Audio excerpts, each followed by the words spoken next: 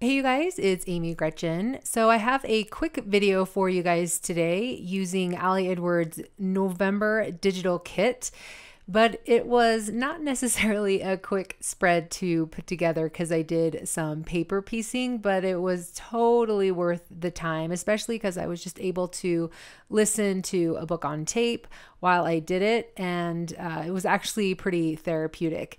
So, the file I am using here came from Ali Edwards' November digital kit, like I said, and it was a card that kind of looked like the outlines of leaves. And I immediately saw and thought, this would be a really cool cut file. And what could I do with it? Well, I could paper piece it and put some paper behind it. So the first thing that you want to go ahead and do is take that 4x6 digital card and trace it in your Silhouette program or your Cricut and then cut it out so you can use whatever machine you have.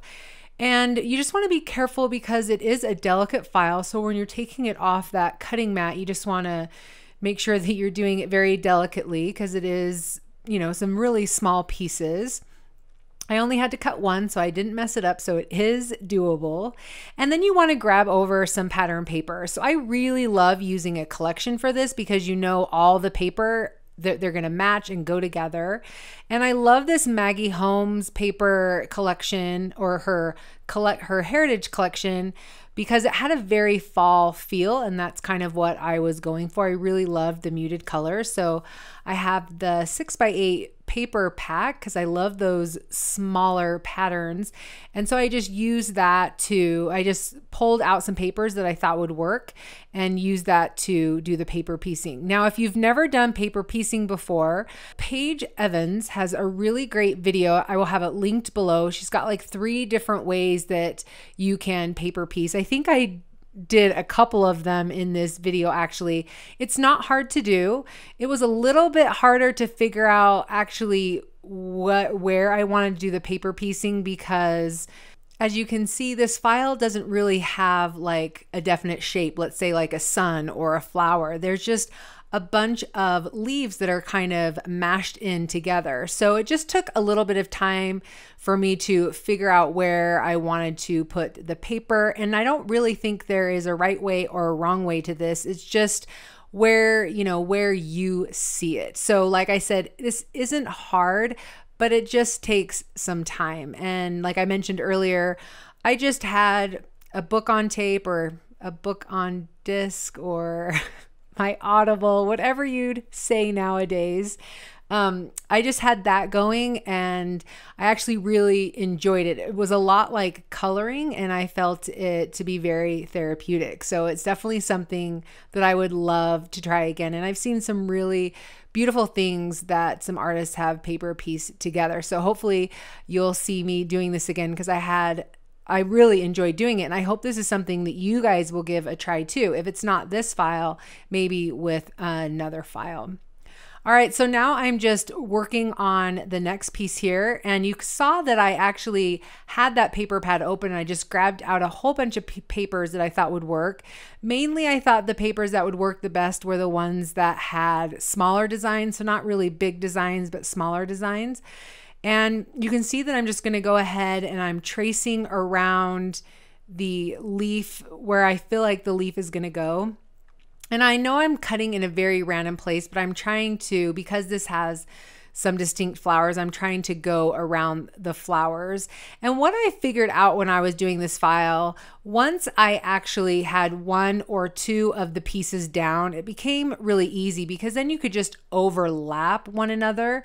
So uh, once you have one or two pieces down, it actually goes a little bit quicker. But I, I loved the process of figuring out what papers to do and where. And that's usually something that I shy away from because I don't feel like I am so great at you know, putting patterns together. But I just didn't have any fear because I'm using a collection and I knew, regardless, that they would all go together. And the photo that I'm using is very fallish. And of course, all these colors are very muted and very fall. So I knew that they would just all go together. All right, so you can see that I've just totally jumped ahead in time because you didn't need to see me paper piece the entire thing because it's just really repetitive. It's just picking out the papers, tracing it out, and then using my scissors to cut it. And of course, the adhesive I used was Gina K Connect Glue. I really have been enjoying that glue lately. So now that I've done the paper piecing, it's time to put the entire layout together. So the other element that I'm creating for this spread using the digital kit is this chipboard. So the this is actually one of the stamps that came in the kit and I stamped it with white uh, in Photoshop and then I backed it with navy and printed it out. And then I used my punch to punch that out and then extra because I want to make it thick, just like chipboard, so it will stand out. And I love being able to uh, make create dimension this way. It's a really great way to create dimension. You can do this with die cuts as well.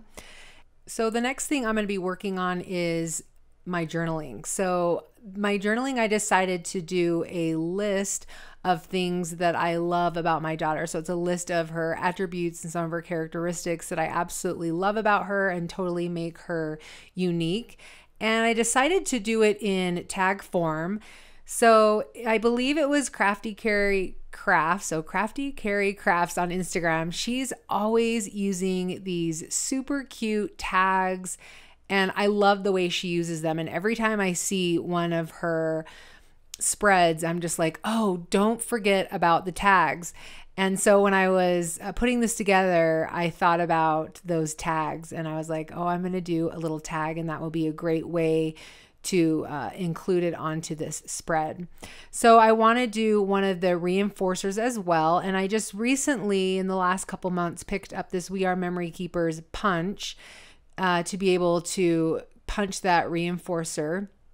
And you can see that I actually punched a whole bunch out because I wasn't sure what pattern I actually wanted with it. I ended up going with more of, I think it was more of the purpley paper that had some of the uh, the blue flower. So anyway, I ended up really liking that one there. But any of them, honestly, any of them could have worked.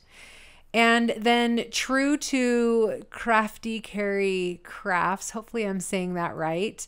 Um, I went ahead and I used the tiny attacher to staple that tag on. Even though I had already used adhesive, it was obviously that is a little bit more of a design choice than putting it onto the page there. And you guys, that's it. That is my layout. I really, really, really love how it turned out.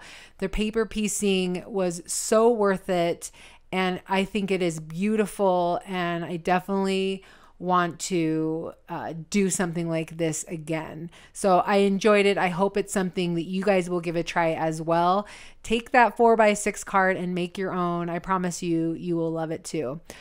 Thank you guys so much for being here. If you like what you saw, please give this video a thumbs up. And if you have any questions, please ask them in the comments section below and I will definitely get to them. If you guys want to see more from me, don't forget to subscribe and hit that notification bell so you'll know when I put a video up on YouTube. All right, you guys, we will see you in the next one. Bye.